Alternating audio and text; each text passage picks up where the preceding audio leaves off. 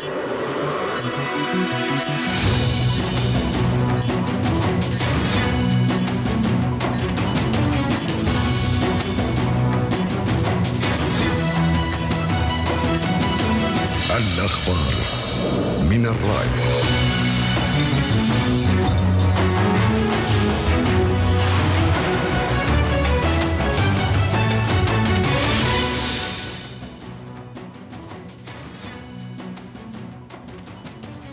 أهلا بكم في نشرة أخبار الرأي معكم فيها أحمد العنزي والبداية دوما بأبرز العناوين.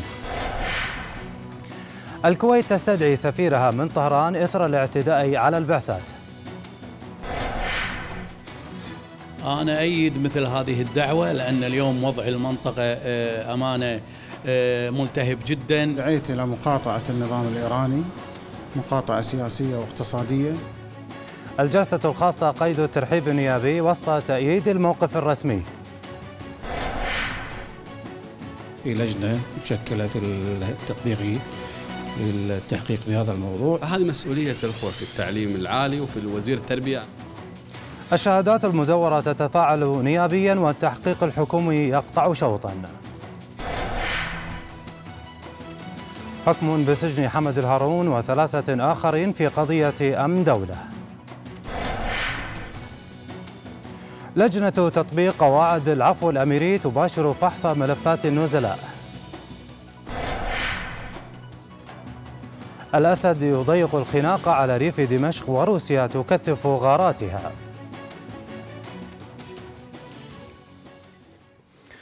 فيما تتواصل تداعيات أعمال الشغب والاعتداءات التي تعرضت لها سفارة المملكة العربية السعودية في طهران وقنصليتها في مشهد أكد مصدر مسؤول في وزارة الخارجية الكويتية أن الوزارة استدعت صباح اليوم سفير الكويت لدى إيران على خلفية الاعتداءات التي قامت بها جموع من المتظاهرين باقتحام سفارة السعودية والاعتداء على قنصليتها. لما يمثله ذلك من خرق صارخ للأعراف والاتفاقيات الدولية الدولية وأخلاق وأخلال جسيم بالتزامات إيران الدولية بأمن البعثات الدبلوماسية. هذا ومن المقرر أن يعقد وزراء خارجية دول مجلس التعاون الخليجي اجتماعا استثنائيا السبت المقبل في الرياض لبحث الاعتداءات على المقار الدبلوماسية السعودية. وقد وصل وفد البعثة الدبلوماسية السعودية إلى الرياض التي أكدت أنها لن تتضرر من وقف الرحلات الجوية المتبادلة مع إيران. بدوره استدعى نائب وزير الخارجية خالد الجار الله السفير الإيراني لدى الكويت علي رضا عنايته وسلمه مذكرة احتجاج خطية على خلفية الاعتداءات. وقال الجار الله أن المذكرة أكدت شجب الكويت لهذه الاعتداءات السافرة مشيرة إلى ضرورة احترام إيران التزاماتها الدولية تجاه البعثات الدبلوماسية المعتمدة لديها وحماية أطقمها الدبلوماسية. وأضاف الجار الله أن المذكرة شملت كذلك التأكيد على مسؤولية إيران إيران في حماية تلك البعثات بصورة كاملة بموجب الاتفاقيات المنظمة للعلاقات الدبلوماسية والتي أساسها احترام سيادة الدول وعدم التدخل في شؤونها الداخلية. وأكد الجار الله وقوف الكويت إلى جانب السعودية وتأييدها في كافة الإجراءات للحفاظ على أمنها واستقرارها. وعلى صعيد المواقف النيابية الكويتية تواصلت ردود الفعل المرحبة بدعوة رئيس مجلس الأمة مرزوق الغانم لعقد جلسة خاصة لمناقشة التطورات الأمنية. وبهذا الشأن أجمع النواب على ضرورة أن تحذو الكويت حذو الإمارات والبحرين في مواجهة إيران.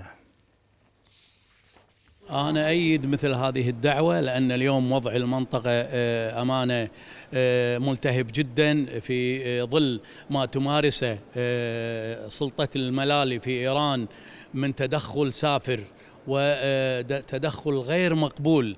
بالشؤون الداخلية لدول مجلس مجلس التعاون خصوصا مع المملكة العربية السعودية الشقيقة الكبرى لنا.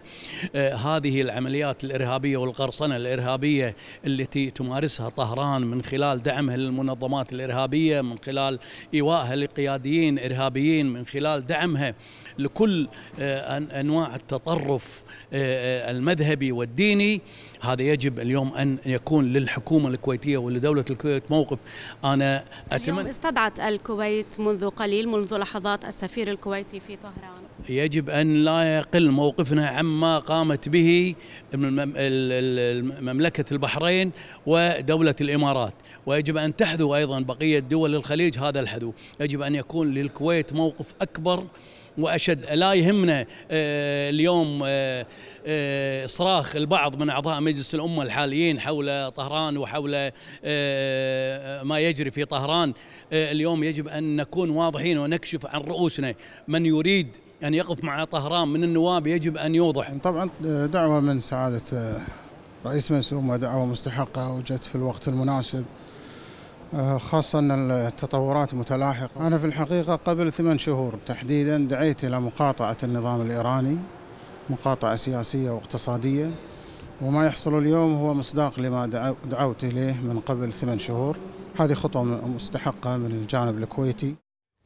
وفي المواقف الدولية دان مجلس الأمن بأشد العبارات الاعتداءات التي تعرضت لها البعثة السعودية مطالبا إيران بحماية المنشآت الدبلوماسية والقنصلية والطواقم التابعة لها. وأعرب المجلس عن قلقه العميق إزاء هذه الاعتداءات مشددا على ضرورة الاحترام الكلي للالتزامات الدولية في هذا الشأن ومضيفا أن اتفاقيات فيينا تلزم الدول بحماية البعثات الدبلوماسية. كذلك أكدت تركيا أن الاعتداءات العلاقات الإيرانية تعد أمرا غير مقبول وأعربت الخارجية التركية عن قلقها إزاء تلك الاعتداءات مشددة على ضرورة حماية البلد المضيف لهذه البعثات. ومن جهتها أعلنت البحرين اليوم وقف الرحلات الجوية من وإلى إيران. وزير التربية وزير التعليم العالي بدر العيسى قال أن لجنة تحقيق فيما يخص الشهادات المزورة لبعض أعضاء هيئة التدريس في الهيئة العامة للتعليم التطبيقي والتدريب قطعت شوطا مهما في هذا الشأن. وقال الوزير ردا على سؤال للرأي أن المحالين إلى النيابة بهذا الخصوص يعمل أغلبهم في القطاع الخاص. رباب بداح والتقرير التالي. مجددا الشهادات المزورة. ملف فتح على مصراعيه وربما لا يغلق قريبا إلا بعد أن تتخذ كافة الإجراءات لتصحيح الأخطاء التي يدفع ضريبتها المجتمع الكويتي برمته. وزير التربية والتعليم العالي بدر العيسى الذي شارك اليوم في اجتماع لجنة الميزانيات في مجلس الأمة رد على سؤال للراي بشأن القضية مجددا وعده بمتابعة التحقيق للوصول إلى خواتيمه المرجوة في لجنة مشكلة في التطبيقي للتحقيق في هذا الموضوع وقبلها كنا حاولنا للنيابة 270 اسم اللي نشرتهم مجلة النيوزويك في فترة سابقة. قدرنا نحصر أسمائهم أغلبهم أغلبهم أو أغلبهم يشتغلون القطاع الخاص. فينهم اللي موجود في يمكن في منهم اللي ترك. ولكن هذه الآن الملف تحول نيابة نيابيا لا يتوقف نواب مجلس الأمة عن المطالبة بالتحقيق الأشمل سيما في ظل أنباء عن تورط بعض النواب السابقين وبعض القيادات فيما يعول البعض من النواب على لجنة التحقيق المشكلة. آه، هذه القضية قضية قديمة جدا. رفضت المجالس السابقة. أن تبحث مثل هذا الموضوع لأن كثير من ال ال أصحاب هذه الشهادات لهم ارتباطات انتخابية وارتباطات آه، خاصة مع كثير من النواب السابقين. اليوم القضية ليست قضية شهادات الدكاترة فقط. هناك قياديين يملكون شهادات مزورة هناك نواب يملكون أيضا شهادات مزورة سواء آه، في المجالس السابقة. ولكن إذا أردنا أن نضع النقاط على الحروف يجب أن آه، نتطرق لكل الشهادات ويجب أن تكون هناك مراجعات للشهادات منذ التحرير. من 92 يجب أن تراجع كل الشهادات. للأسف يعني للأسف هذا موضوع يعني أخلاقي أيضا. آه، التزوير هذه جريمة في القانون الجنائي الكويتي وكل دول العالم يعني تعاقب عليه. إحنا كنا نسمع جامعات غير معترفة. الآن قاعدنا نسمع جامعات مضروبة وجامع وشهادات مزورة. فهذه مسؤولية الأخوة في التعليم العالي وفي وزير التربية. أنا وجهت له سؤال في هذا الشأن وأعتقد إنه هو قضية اليوم بمجلس الأمة. والوزير في آخر جلسة وقف وعطى تعهد بحل المشكلة خلال ثلاث شهور وإحنا أمام انتظار هذا التعهد. من جهته طالب النائب يوسف الزلزلة وزير التربية والتعليم العالي بطرد كل من يثبت تزويره لشهاداته لإيقاف العبث بمقدرات البلد على حد قوله. رباب بداح الرأي. محكمة الجنايات قضت بحبس حمد الهارون وثلاثة مواطنين عشر سنوات مع الشغل والنفاذ لكل منهم. وذلك لتمكين الثلاثة للأول من الهروب إلى خارج البلاد وجاء هروب المتهم الأول في قضية أمن دولة المعروفة إعلاميا بجروب الفنطاس بعد توجيه النيابة العامة له عدة تهم وإحالة القضية لاحقا للقضاء. وزارة الداخلية أعلنت بدء لجنة إعداد القواعد للعفو الأميري للعام 2016 أعمالها في فحص ملفات نزلاء المؤسسات الإصلاحية للنظر في مدى انطباق القواعد عليها تنفيذا لرغبة أمير البلاد وتوجيهات القيادة العليا لوزارة الداخلية. وقال وكيل وزارة الداخلية المساعد لشؤون المؤسسات الإصلاحية وتنفيذ الأحكام اللواء خالد الديين أن تلك المكرمة الأميرية تترجم البعد الإنساني للقيادة الحكيمة بهدف التخفيف التخفيف عن معاناة النزلاء ومنحهم الفرصة للعودة إلى جادة الصواب.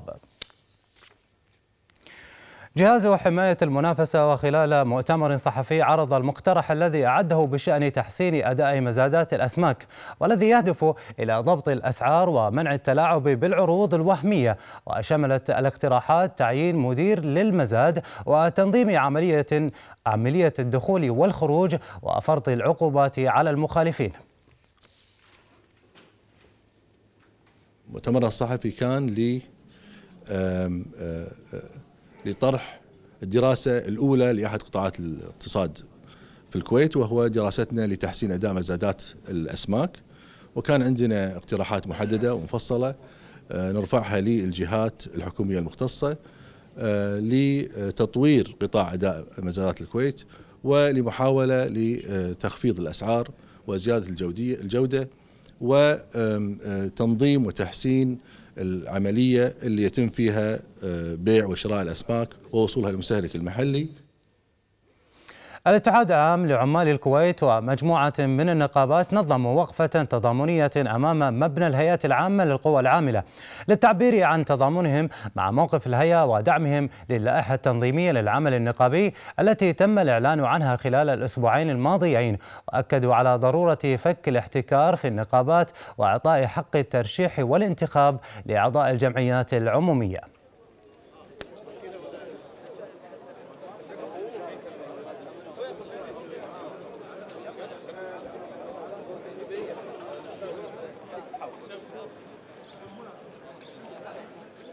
اجتمعنا اليوم مع أخوانكم أعضاء الجمعيات العمومية والنقابات لهدف واحد وهو كسر الاحتكار وفك الاحتكار وإعطاء حق الترشيح والانتخاب للجمعيات العمومية وإلغاء الشروط التعجيزية التي تم وضعها خلال الفترة السابقة لمنع أبناء هذا الوطن من المشاركة في الانتخابات. اليوم في لائحة تنظيمية طلعت للعمل النقابي من الجهة المعنية في في في قانون العمل اللي هي الهيئة القوى العاملة.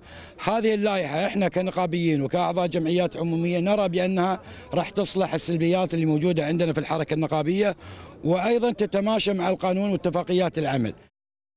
ضمن مسؤوليتها في دعم دور المجتمع بتعزيز المواطنة عقدت الجمعية الكويتية للعمل الوطني لقاء جمعت من خلاله الجهات الحكومية المعنية بالمواطنين في محافظة الفروانية للحديث عن أهمية الحفاظ على المرافق العامة ومحاربة الجريمة وتعزيز الدور الفردي تجاه المجتمع وتعميق الإحساس بالمسؤولية والتعاون مع الجهات المعنية.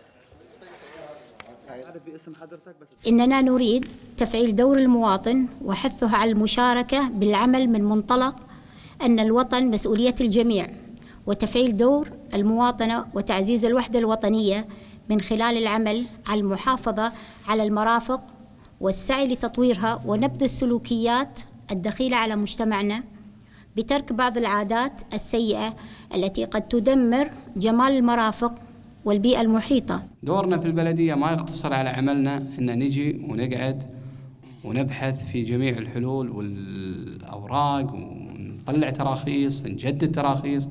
لا مو دورنا هنا يبقى دور المواطن لما يكون في عنده رغابة ذاتية على الشيء. إحنا معانا خطوط ساخنة تعمل على مدى 24 ساعة. تتيح الفرصة للمواطن للمشاركة مع مسؤولي الوزارات. ومراكز التنمية تتعاون مع العديد من الجهات الحكومية ومؤسسات المجتمع المدني وتتمنى مبادرات الفرق التطوعية والشبابية لتقديم أفضل الخدمات المجتمعية والتنموية. وتعتبر الأسرة هي نواة المجتمع. لذلك نولي جل اهتمامنا بالبحث عما يفيد هذه الأسرة. فيما يتواصل حصار قوات النظام السوري لريف دمشق حيث يواجه الأهالي هناك الموت البطيء جراء الجوع والبرد القارس. تشن قوات النظام أعنف هجماتها بدعم جوي روسي على مواقع المعارضة في حين ما زالت الاشتباكات مستمرة بمدينة الشيخ مسكين في درعا. كذلك تواصل المقاتلات الروسية شن غاراتها على الكثير من المدن والبلدات السورية مخلفة مئات الضحايا يوميا. كما تعمد قوات النظام والطائرات الروسية إلى استهداف الأسواق الشعبية مما زاد من عدد الضحايا المدنيين. هذا وأعلنت منظمة حظر الأسلحة الكيميائية أنه تم تدمير ترسانة سورية من الأسلحة الكيميائية التي أعلنت عنها دمشق في العام 2013 بشكل كامل. قتل جندي من أفراد القوات الخاصة الأمريكية وأصيب اثنان آخران خلال هجوم في جنوب أفغانستان اليوم. ونقلت قناة NBC الأمريكية عن مسؤول بوزارة الدفاع الأمريكية قوله أن المعلومات الأولية تشير إلى مقتل جندي وإصابة اثنين آخرين. بدوره أشار متحدث باسم الجيش الأمريكي إلى أن مروحية طبية أمريكية كانت تحاول مساعدة الجنود سقطت بعد تعرضها لخلل فني لكن طاقمها لم يتعرض لإصابات.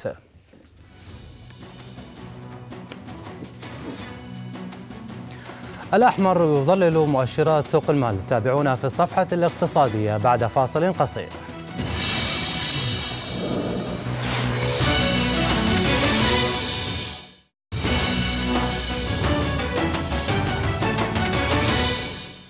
أهلا بكم في الاقتصاد. سوق الكويت للأوراق المالية أنهت تداولاتها على انخفاض مؤشراتها الثلاث بواقع أربع نقاط المؤشر السعري ونحو نقطة وثلاثة عشر نقطة للوزن وثلاث نقاط وسبعة عشر نقطة لمؤشر الكويت 15 وبلغت قيمة الأسهم المتداولة عند الإغلاق نحو 11 مليون و400 ألف دينار كويتي في حين بلغت كمية الأسهم المتداولة حوالي 93 مليون سهم. سعر برميل النفط الكويتي ارتفع 28 سنتا في تداولات أمس ليبلغ 28 دولارا و65 سنتا وفق السعر المعلن من مؤسسة البترول الكويتية.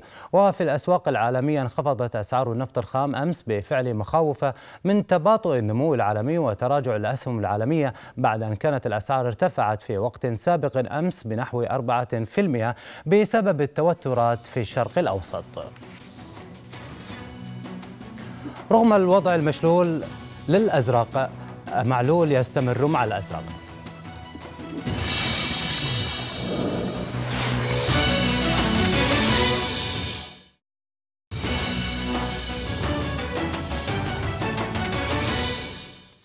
أهلا بكم في الرياضة، أعلن مدرب المنتخب الكويتي نبيل معلول استمراره في قيادة الأزرق وعلى رأس عمله حتى نهاية عقده في يونيو المقبل، وقال المعلول الذي يزور البلاد حاليا أن إصرار رئيس الاتحاد الكويتي لكرة القدم الشيخ طلال الفهد على استمراره في قيادة الأزرق حتى نهاية العقد المبرم هو من دفعه للاستمرار في قيادة الأزرق حتى انتهاء عقده مع الاتحاد، وأشار معلول أنه يسعى لإسعاد الجماهير الكويتية العاشقة للأزرق متمنيا أن يتحقق ذلك بعد زوال الإيقاف الدولي للكرة الكويتية.